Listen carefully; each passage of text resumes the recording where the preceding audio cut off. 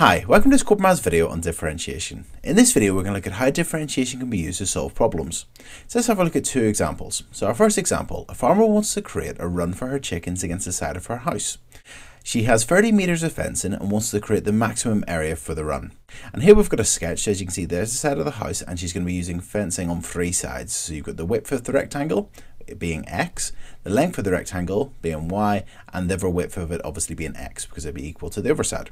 And part A says show that y equals 30 subtract 2x. So as we know she's got 30 meters of fencing and we want to create the maximum area so we want to use all that fencing. So we know that the three sides of the rectangle where she's going to use fencing, obviously we're going to uh, sort of assume that her house is very long and we don't need to worry about any fencing on one side. We know that the three sides, whenever we add them together, it will be equal to 30 meters. So let's write that down x plus y plus x equals 30 meters.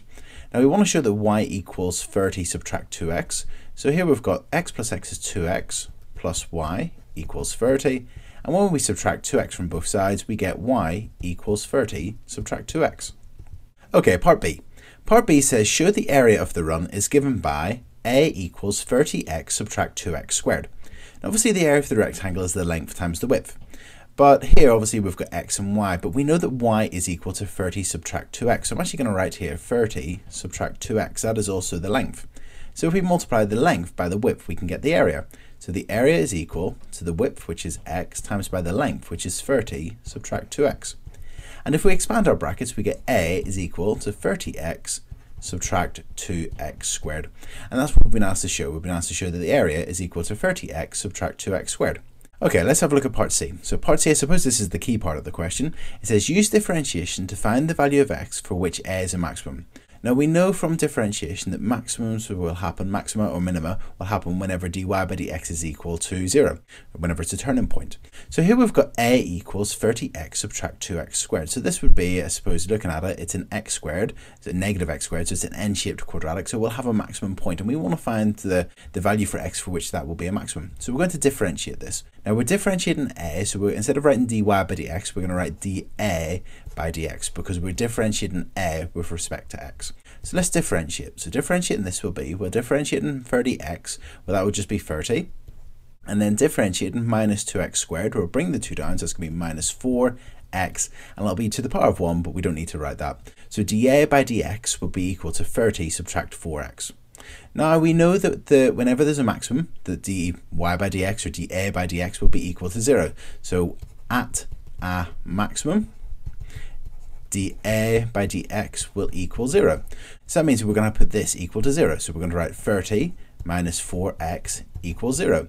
And let's solve this to find the value for x. So if we add 4x to both sides of the equation, we get 30 equals 4x. And dividing both sides by 4 will give us that x equals, well, halving and halving again will be 7.5.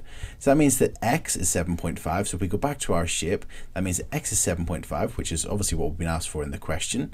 Um, it means the other side will be 7.5. Now that's 15 altogether. We had 30 meters of fencing, so that means that the width, length of the rectangle would be 15 meters. So this would be the rectangle, which would give us the maximum area for 30 meters of fencing against the side of her house. And if we were asked to find, so in this question we were asked to find the value for x, so the value for x for which the area is a maximum would be 7.5 meters. If we were asked to find the length of the rectangle, that would be 15. If we were asked to find the area of the rectangle, then we would times the 15 by 7.5. Okay, let's have a look at our next example now. So next example. Okay, let's have a look at our next example now. So our next example says, shown as a cardboard cuboid, as a tongue twister, with a volume of 60 centimeters cubed. So the volume of this shape is 60 centimeters cubed. Part A, show that y equals 30 over x squared. So we've been told the volume is equal to 60 centimeters cubed. So let's work out the volume or an expression for the volume of this cuboid. So to get the volume, we'll do the length times the width times the height. So the volume is equal to the length, which is equal to y, times the width, which is x, times the height, which is 2x. And if we multiply those together, we get the volume is equal to is equal to 2x times x, which is 2x squared, times y, which would be 2x squared y. Now we've been told the volume of this cuboid is 60 centimeters cubed. So we know that the volume is 60, so we can write 60 is equal to 2x squared y. And we want to find what y is. We want to make y the subject. So if we divide both sides by 2x, well actually I'm going to divide both sides by 2 to begin with to get 30 equals x squared y. And then we'll just divide by x squared to get y equals 30 over x squared. So part A was to show that y is equal to 30 over x squared. So that means if we look at our diagram, we can write, instead of y here, we can write 30 over x squared. So part B says, show that the area of the cardboard to make the box is given by a equals 4x squared plus 180 over x. Now the first thing I'm going to check in this question is if it mentions anything about the, the cuboid not having a lid. We've got a cardboard cuboid, it looks like it's got a lid, so this cuboid has got a lid.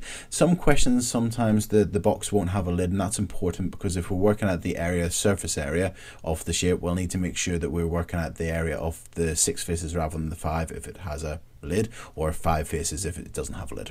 So it says show that the area of the cardboard to make the box is given by a equals 4x squared plus 180 over x. So we want to find the surface area of the shape. But remember we know that y is equal to 30 over x squared. So let's work out the area of the three rectangles that we can see, this 1, 2 and 3. And then we'll double it to get the total surface area. So face 1, the front of this cuboid. So 1 the area of that shape will be the length times the width. So the length is equal to 30 over x squared. So we've got 30 over x squared. And we're going to times that by the height of it, which is equal to 2x. So it's multiplied by 2x. And when we do that, we're going to get 30 times 2 is 60. x over x squared and that will simplify to 60 over x whenever we divide both the top and the bottom by x. Okay, so that's the area of 1. Let's get the area of 2. So 2 is this side here. That's quite a nice one. That's x times 2x. So that's going to be x times 2x, which is equal to 2x squared. And then let's get the area of the top of the cuboid, 3. So that's going to be equal to, that's going to be quite a nice one. It's going to be 30 over x squared multiplied by x. So 30 over x squared multiplied by x. And that will be equal to 30x over x squared, and that simplifies to 30 over x. So we've got the area of the front of the cuboid, the right hand side and the top.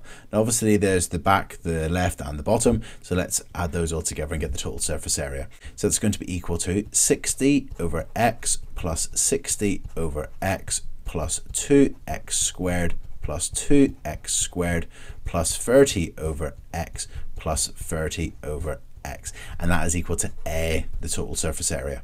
So a will be equal to, well, 60 over x plus 60 over x plus 30 over x plus 30 over x. Well, they've all got a common denominator, which is nice. So 60 plus 60 is 120, plus 30 is 150, plus 30 is 180. So that's 180 over x. And we've got our 2x squared plus 2x squared. So that's going to be 4x squared plus 180 over x. And that's what we were asked to show in the question.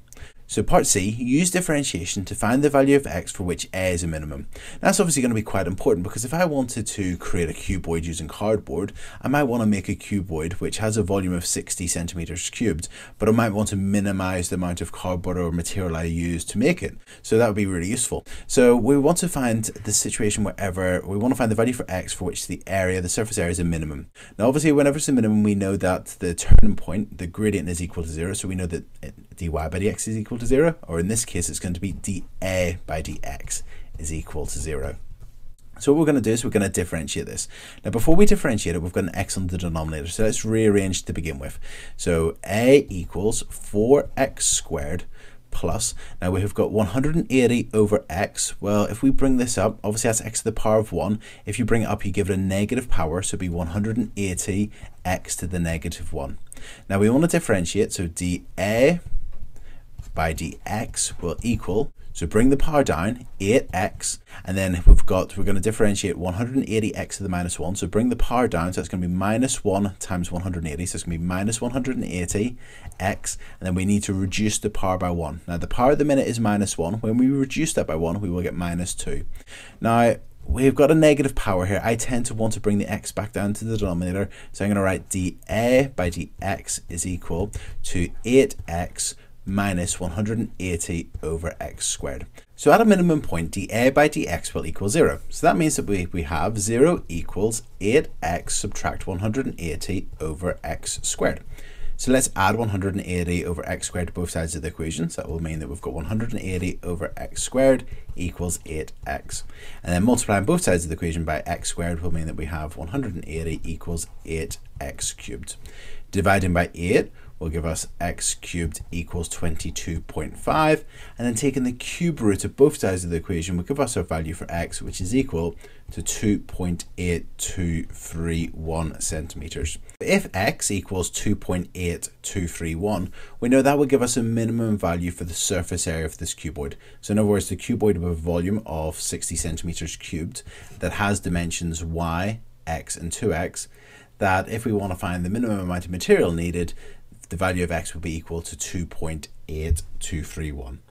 Okay, so let's have a look at part D. So part D says find the area of cardboard needed. So in other words, find that surface area of that cuboid. So going back up to part B, we were already given that A equals 4x squared plus 180 over x. So if we substitute in our value for x into that, we will find the surface area of that cuboid.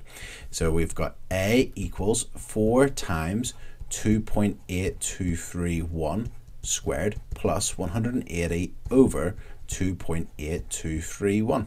And whenever we work that out, we get that A, the surface area of this cuboid, or the amount of cardboard area cardboard needed, would be 4 times 2.8231 squared plus 180 divided by 2.8231.